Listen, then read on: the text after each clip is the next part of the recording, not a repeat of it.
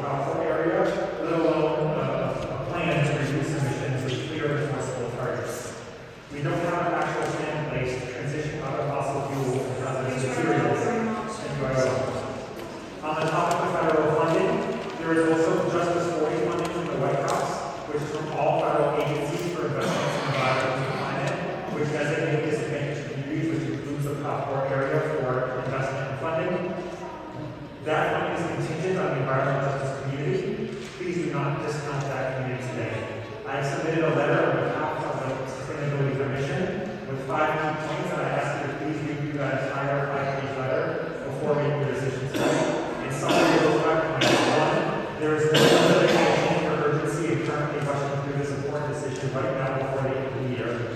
We need to promote the expansion of offshore wind and NBC rate into the terms of the agreements, not just the promotion around it.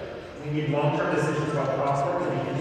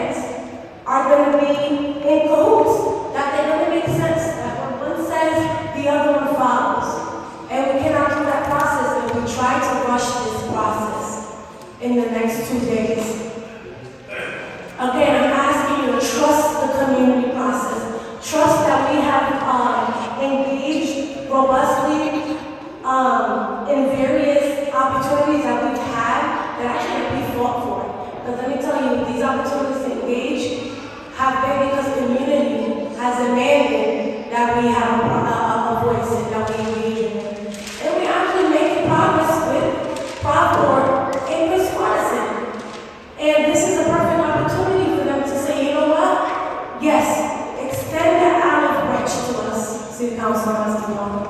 And so that we can actually have continue the robust conversation that we've been having. This is not anti-union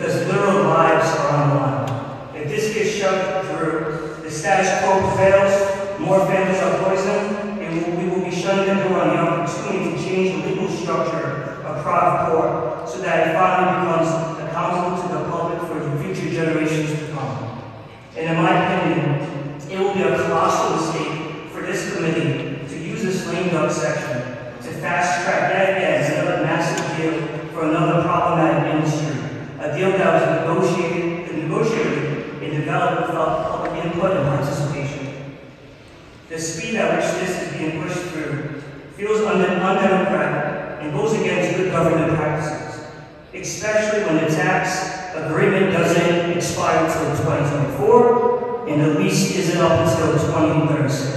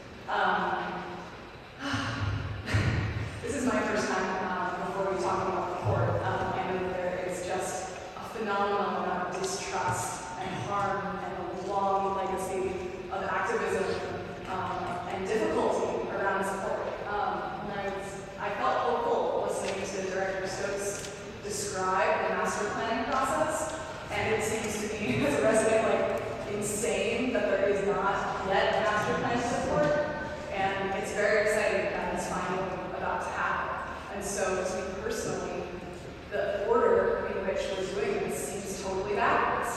We must have a master plan for the court first before any tax exemption is considered.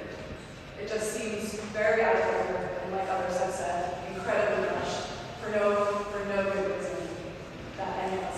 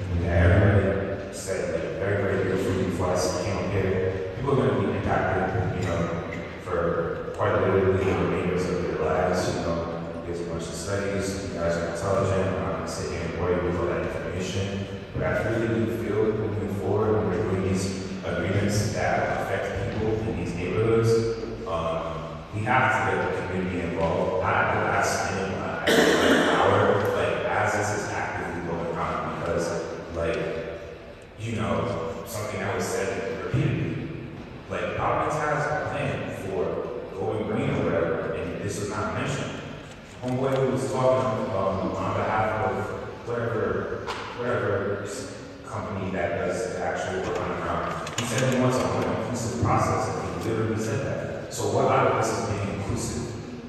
You know, you have people who like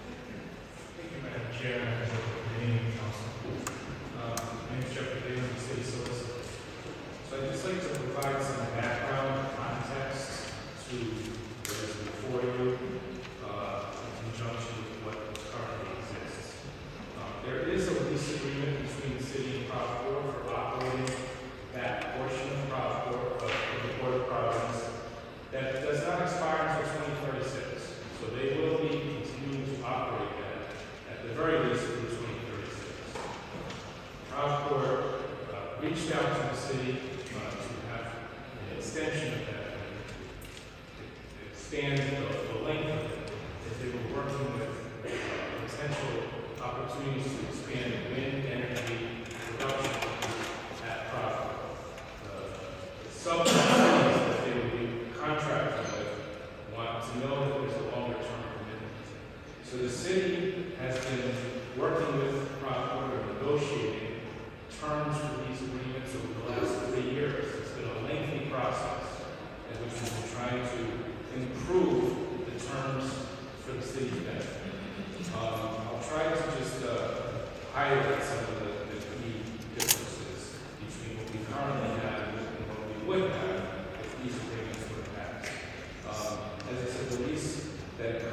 exists currently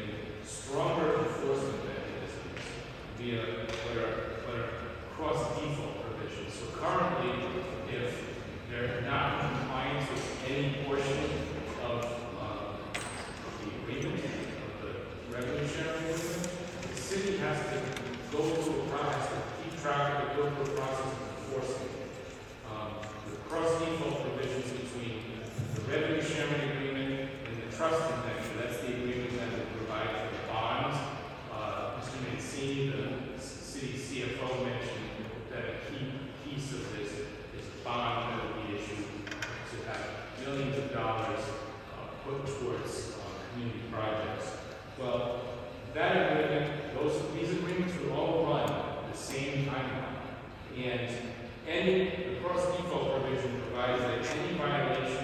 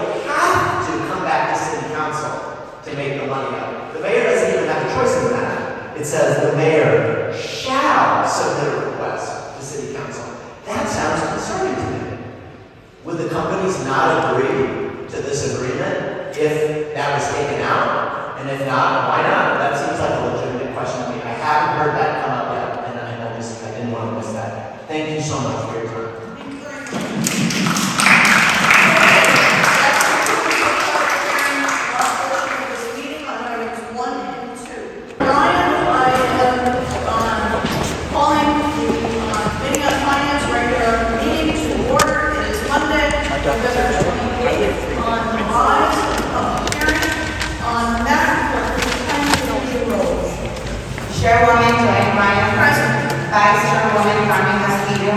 Present. Councilman Nicholas Narducci. Still here. Councilwoman Helen Anthony. Present. Councilman James Taylor. Here. We have five present and we have four.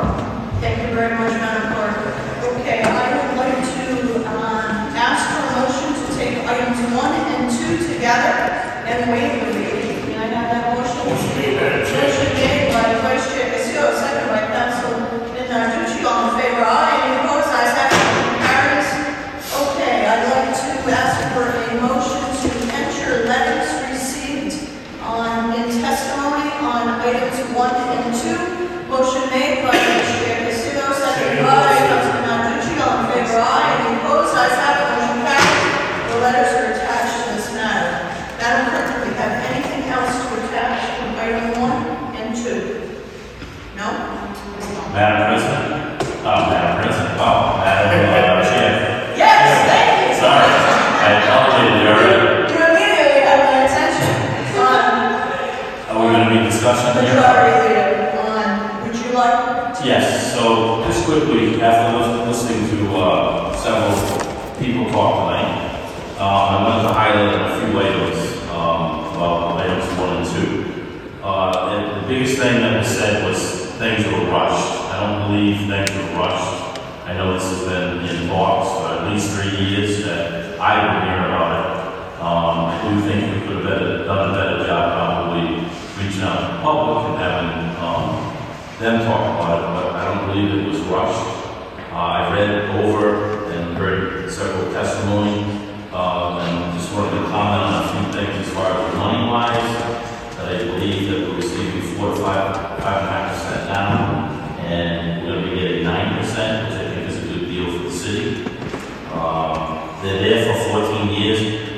things, and,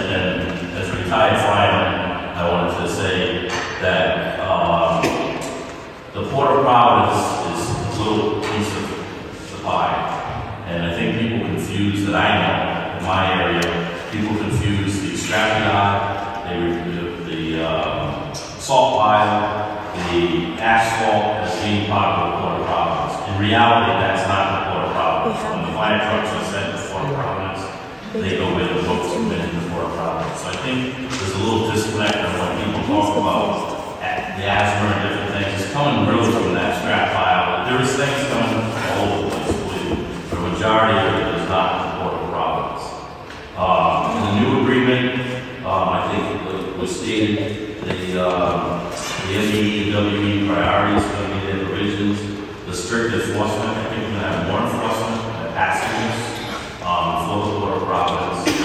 And, uh, the- and like I said, they're there for fourteen years, and this is just an extension for another sixteen years.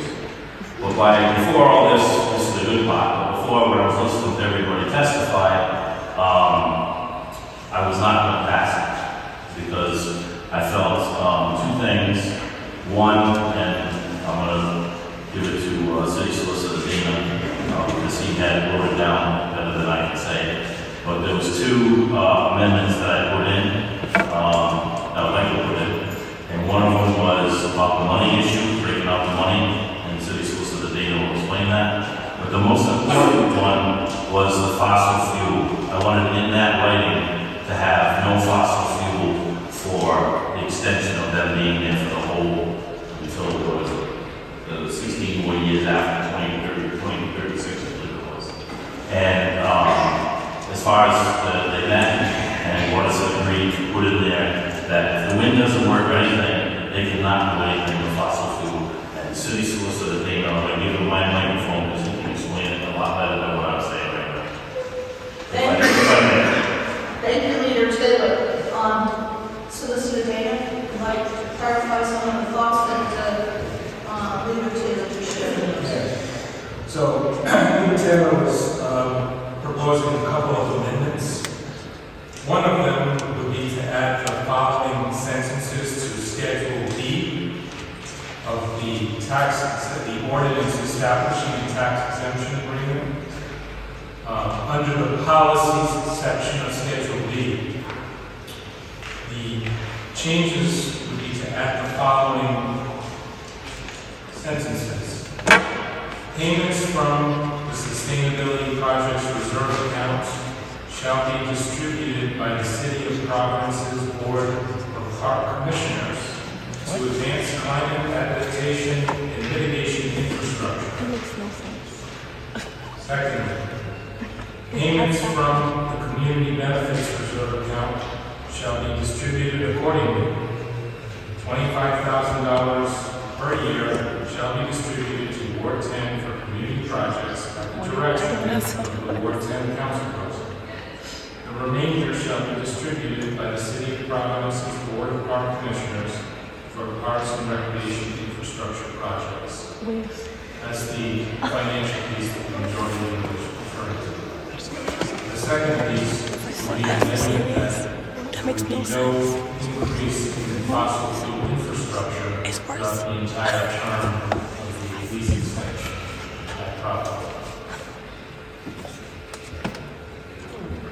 Thank you. Uh, we need to make a motion. Uh, Taylor would like to make a motion to the amendments to uh, specified items listed. So moved. The documents on. Second motion, Madam Chair. Motion made by Leader Taylor,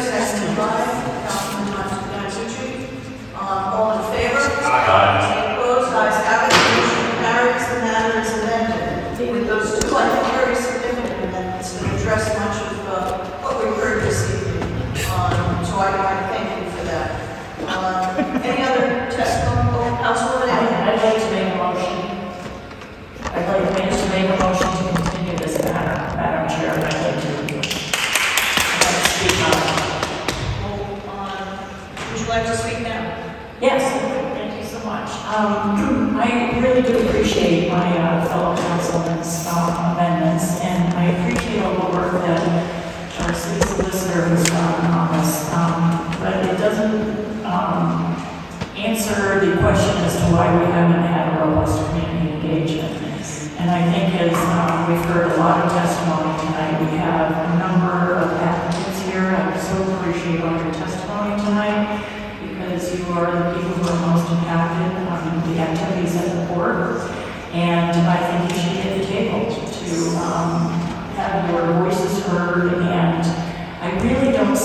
it is that we have to rush this. I mean, I understand that we need to move quickly on it, but I think we can still engage uh, the community that has come tonight to testify so passionately on these, on these issues. I think we have some very good things in this lease. I think the amendment is a very strong amendment, but the things that we don't have is that we don't have your voices at the table and your influence.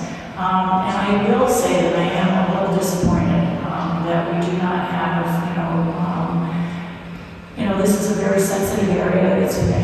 we've discussed, but the climate justice plan that I'm so proud that this council has passed is, is not mentioned at all in this, and, and it doesn't seem to be impacting any decisions, and I think it must be an integral part of what happens when we make this decision on ProvPort. It's a very, very important decision. People should be at the table, and we should be adhering to the climate justice plan, which we have not adopted. So I am going to make, make a motion to continue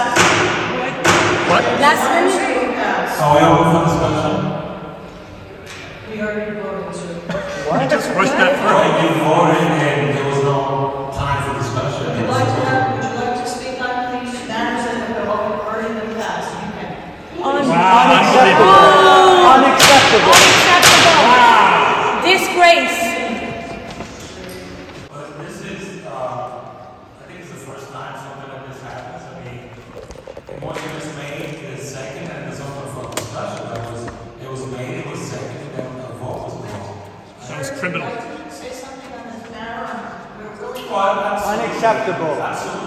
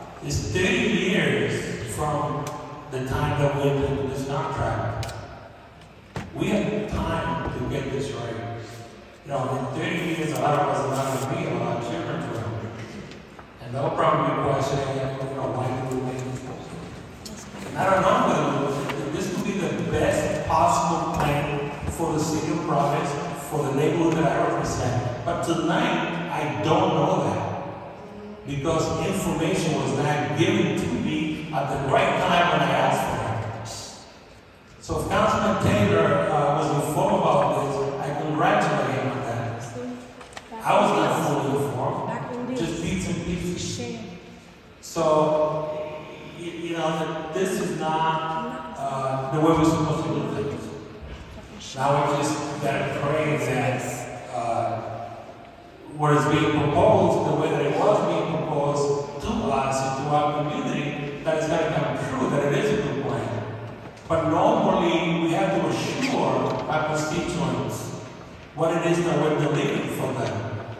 Now we need to deliver promises. I don't know if those promises are going to be kept. I'll pray. But this is not right. Thank you. Shame on you. Shame! Shame! Shame! Shame! Shame. Disgrace. Any further discussion? Embarrassment. Motion is made and seconded. The matter has passed. Yeah, by you three fucking pigs. By you three assholes. It's a lame duck abuse of power. Yes, it is. You should be ashamed of yourselves. Embarrassment. Number 19-55. Number 5. Ordinance establishing a tax stabilization agreement for each. For their friends, for their fucking friends. Located on. Shame on yourself. Shame on you. Shame on you. Two, two, three, three, Shame on you. four, and two, three, five, five forty-one, Hartford Avenue. Shame. And for the city council who didn't speak on that, shame or shame on you too. Got four years. Uh, hell, she's gonna get four years to hell with me. I'm gonna guarantee that shit. Shame. Not even give you a right to their own peers in city council to fucking talk and to discuss it. Shame on you, Joanne. Miss, you're gonna have to leave. A disgrace. I'll leave when I'm good and ready. No, you're gonna A go. disgrace. It's not gonna get any better. It is not. It's not gonna get any better. Fucking shame on you. You call this a, a, a, a, community meeting? You call this a community meeting? Monica. Shame on you. When I'm fucking good and ready because I get to Don't even get the right to their own colleagues to speak on the matter. I. I, and then that's it. Shame I said move. Get out. Don't put, don't put your hands on me. Out the door. Get up. Let's go. Oh. Carry on outside, not in here. End of story.